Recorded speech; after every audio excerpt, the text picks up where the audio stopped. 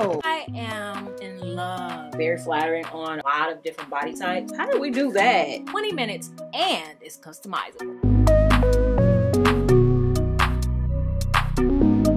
Hi everyone, I'm Angelina and this is Blueprint DIY where we remake our clothes to be just as unique as us. I am here today with the cutest dress you can make in 20 minutes. I promise you it is so stinking cute. And i am loving this dress because i think it's completely customizable and i think it's going to be flattering for a lot of different body types. So because we're on the clock today let's get started. All right so i have a banana republic shirt. I love that it has this ribbon on the inside of the button placket and all i'm going to do is figure out where the biggest part, widest part of my hip is, and add a pin right there because it's going to be a drop waist dress gonna cut off here and flare there. I think this look is very flattering on a, a, lot of different body types. So that's what we're gonna do. All right, here we have our shirt, our pin. I'm gonna take a ruler and my sliver of soap. You can use tailor's chalk, whatever you like. And I'm just gonna take a line all the way across. If you wanna be precise, you measure up from the bottom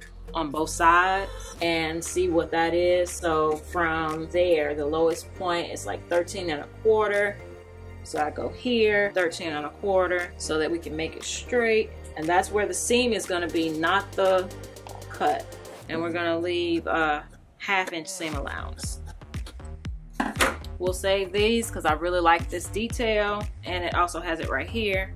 So we'll save that for something else. All right, so now we're gonna grab our other shirt. When you're choosing your shirts, you really just want something that coordinates. And so I thought that this stripe gave it a really preppy vibe, so why not use plaid? So we're gonna use this as our bottom fabric. And that's all we're thinking about with this is we want to extract yes extract as much fabric as possible from here when you're trying the shirt on you also want to measure how long from that point how long you want the dress to be so from that middle hip point you want to measure down how long do you want your dress to be ideally you'll be able to get two of that length. So I would know I want mine to be 12 or 13 inches more than the bottom of the first shirt. Ideally, I would need 24 to 26 inches on this shirt. And these are great and quick because if you don't want to rehem, you can just leave the bottom hem. For now, I'm gonna leave it how it is. Just gonna do a quick measurement. We're gonna measure from the shortest side. All right, so from the shortest, we're on this line right here. I'm gonna button it. All right, so that's one layer.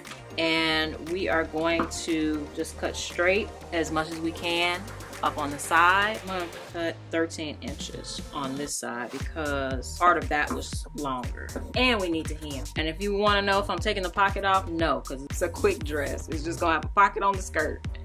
All right, so now we need to connect these two. I'm not gonna worry about where these buttons fall I'm gonna cut it along one side. All right, so now we have to connect all of these pieces. Let's lay everything on the good side. And we just wanna go to our sewing machine and connect all the layers. I'm probably gonna do it on my serger. Of course, you can sew this. You'll just lay it good side to good side and go to your sewing machine, sew it. Then for the edges, you can do an overlap or a zigzag stitch on the ends. We got one piece attached. Now we'll attach the next piece, good side to good side. We'll keep doing this until we have one big circle. So I am actually going to cut it off even so that we can hem it. So I'm trying to find the shortest length. Ooh, it's 11 inches. How did we do that? Is this gonna be a dress or a top? Okay, never mind. You can cut it straight if you like. I'm not gonna cut it straight because I'm scared it's gonna be too short. All right, so what we wanna do is add a gathering stitch to the whole top of this layer. You can do sections so I'll probably do this half as one section and this half as another section. The reason I'm gonna do that is because when I start pulling the thread, sometimes it feels kind of tight. So I'm gonna do it in two sections so my thread won't break.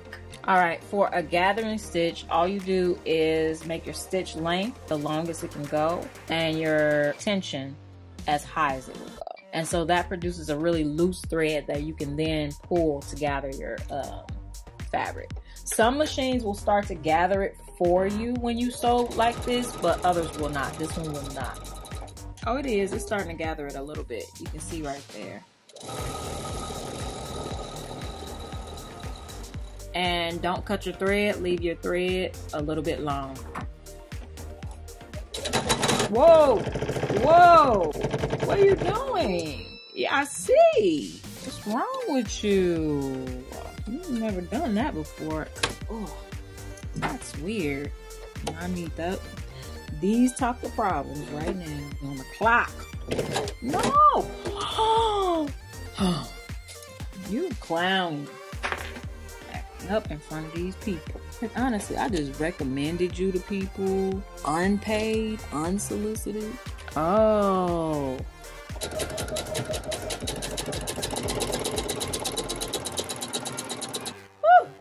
Okay, so I don't know why my sewing machine decided to give me trouble today. Like, it really doesn't do that often, but it knew I had a deadline. It knew I was trying to get this done in 20 minutes, and it decided, no, we're not going to act right today. But we're still within our time. I think we're going to make it. It's time for us to gather. I think I'm going to stand up doing this, so let me adjust the table.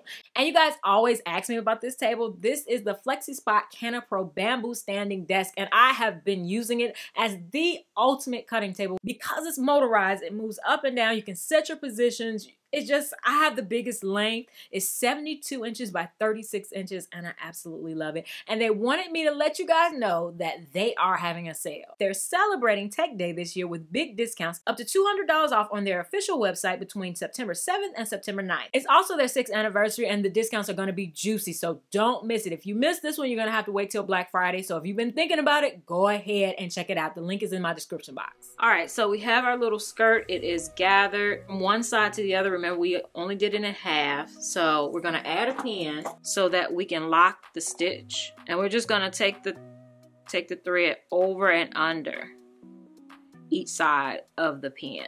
That way when we pull from the other end, this side doesn't pull through. All right, so then you're gonna find your bobbin side of the thread and you wanna pull that side. And that's how you gather. You wanna be careful not to break that thread because if you break that thread, you're gonna be mad. All right, so now we're gonna start pinning. All right, just so you know, I turned it right side out so that I can now turn it inside out. Just to make sure I get everything on the right way. All right, so I'm gonna pin this on the side seam. All right, pin this other one on the side seam. Just lining up the button placket. All right, so now we just need to adjust the gather so that it matches. All right, so I feel like that's even. Now it's just about distributing the ruffles evenly to the back. All right, feel like we are evenly distributed and the right width. Now we can go and sew the two layers together all the way around. And you also want to make sure that you change your stitch back to just a regular stitch. Mine is 2.5 and the tension is at 4. All right, so once you get that stitch in, you can go ahead and serge or overlock the edge. If you don't have either of those options, you can also add some fray check to the end. Or you can cut the edge of that seam with some pinking shears. All right, one more thing I wanna do before we hem, I really want to like take this stitch and fold it up and sew it down at a top stitch. So from the front, it'll be folded up towards the button up and then I just want to add a stitch along the edge. I think that'll make it look better, sit better. And then after that, we are going to hem the edge. So I have to figure out what a right length is to double fold this. Now, to make this faster, since we're trying to make this a 20 minute dress, I could serge the end. If you have a serger, you could serge the end and just fold it once. We'll probably serge it and fold it one time. So we're moving fast.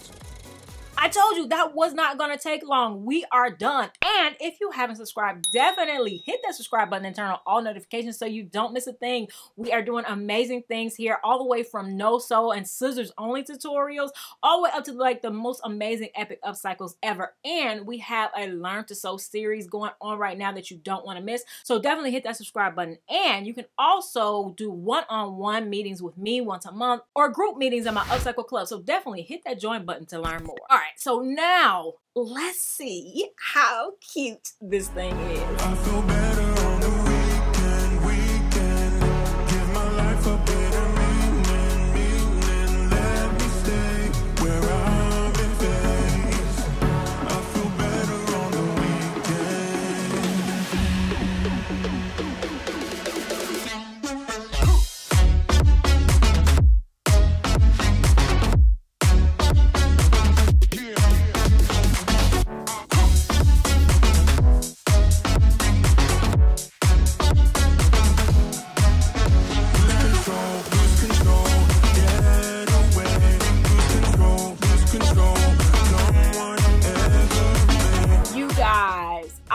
Am in love. Like, I say that a lot so I guess I just love fashion, but this one is just so easy. You guys know I love like easy stuff.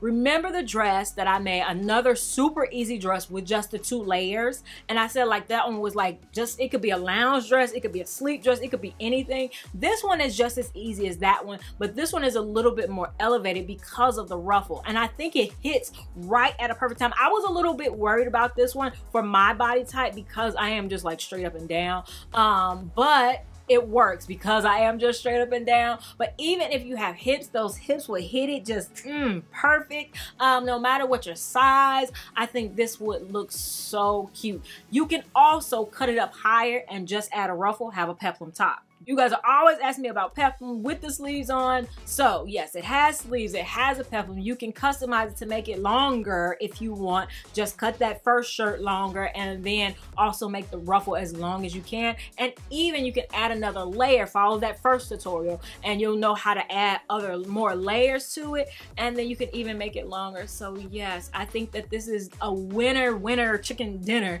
um, as far as time and as far as being easy and customizable. So you guys let me know what you think in the comments below. Let me know other tutorials you want me to do for the fall because we're kicking off the fall. We have our runway review coming up next week. I am super excited to share some easy DIY things from the runway that you can do to your wardrobe to make it look super designer and just like give it some elevation. So I'm super excited about that. You don't want to miss it. I definitely have other tutorials for you to watch right here. And definitely check out my FlexiSpot link in the description box below for big savings. And I'll see you guys in the next one. All right. Bye.